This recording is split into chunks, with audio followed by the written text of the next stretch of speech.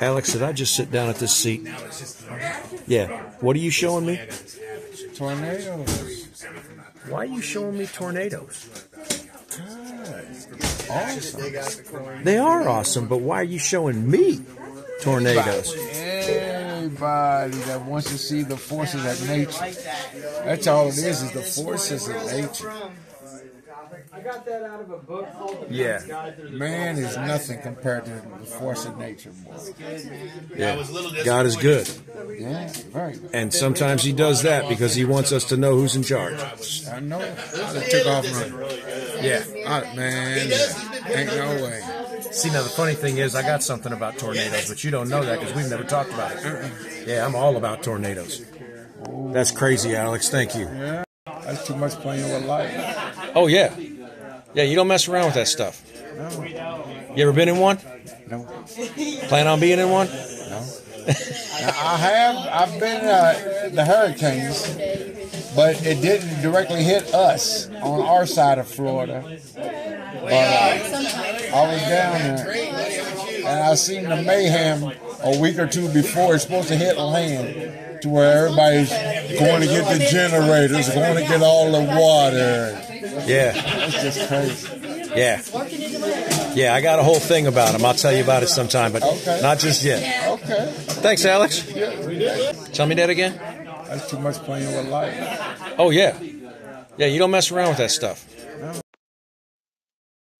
Well, as you can tell, that was Alex. And Alex is a, a friend of mine. Let's just put it that way. I'm going to keep his anonymity on this one.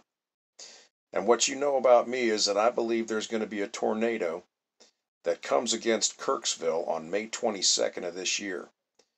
So Alex just starts showing me this stuff, and I'm like, why are you showing me this? You know, why why is I go to a meeting, I sit down, and boom, right there. It's like boom, okay, Father, why is this happening? Why is he showing me this? Well, because the numbers add up. So I took a look at May 22nd. May 22nd is the 142nd day of the year, 143rd in a leap year. This is a leap year, but I'm not. I'm gonna, I'm going to disregard that because I think this is 142, and I'm just going with that. And that means that there are 223 days that remain to the end of the year. Now, when I punch those two numbers into a Strong's Concordance, you're going to be surprised at what I get. This is the Strong's 522. Ap aero. To lift off, to carry away, to be taken away from anyone. Is that not what a tornado does? Is that not what will happen on 522? Of course, 522 is one of those numbers. To lift off, to carry away. Keep that in mind. May 22nd is the 142nd day of the year. G142 is airo, to raise up, to lift up, to elevate, to raise from the ground, take up. Is that not what a tornado does? Two terms, G522 and G142, both correlating to 522 of May, and both having the exact same meaning to lift up. This is just getting so strange and so amazing that these things can line up that it can only be Hayah. Now there's 223 days left in the year from 522. Let's see what that says.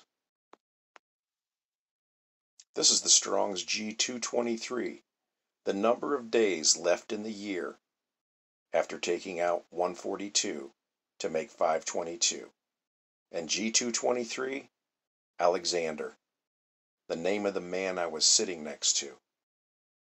Mark 15:21.